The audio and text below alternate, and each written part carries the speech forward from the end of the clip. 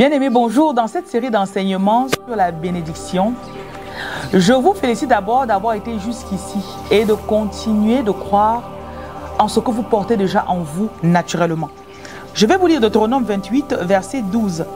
Ah, l'Éternel t'ouvrira son bon trésor, le ciel. Hmm. Le ciel, c'est là. Vous voyez quand il pleut, est-ce que la pluie fait la différence que, oh, la femme elle est blanche, elle, elle est noire?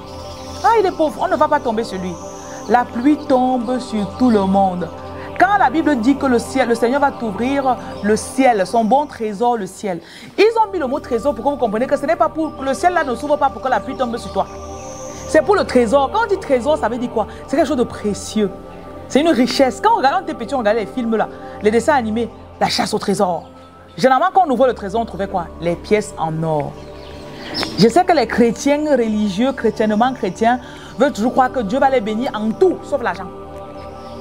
Quand ils ont mis trésor là, le mot trésor a sa place. Parce que trésor, ça veut dire l'argent, l'or, ce qui est bien. Et dans toutes les, les, les devises, l'argent achète tout. La maison, la voiture, la nourriture, euh, les habits, l'argent achète le trait. Donc, la monnaie achète tout. Donc, quand il vous dit cela, ça veut dire que Dieu t'a donné, c'est ton droit de naissance de recevoir. Peu importe que tu es l'enfant de ma Martha, la mère d'enfant Majo. Majo était pauvre. Oh, non, non, c'est pas parce qu'elle était pauvre que toi tu, tu seras pauvre. Donc, tu reçois parce que tu es, parce que tu es positionné dans l'alliance pour recevoir.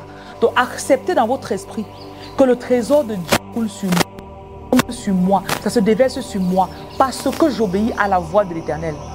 Ok? Acceptez. Aujourd'hui, je déclare sur vous l'ouverture, l'abondance du trésor du ciel sur vous. Recevez cela sans en résister. Voilà. Au nom puissant de Jésus-Christ, qu'il en soit ainsi.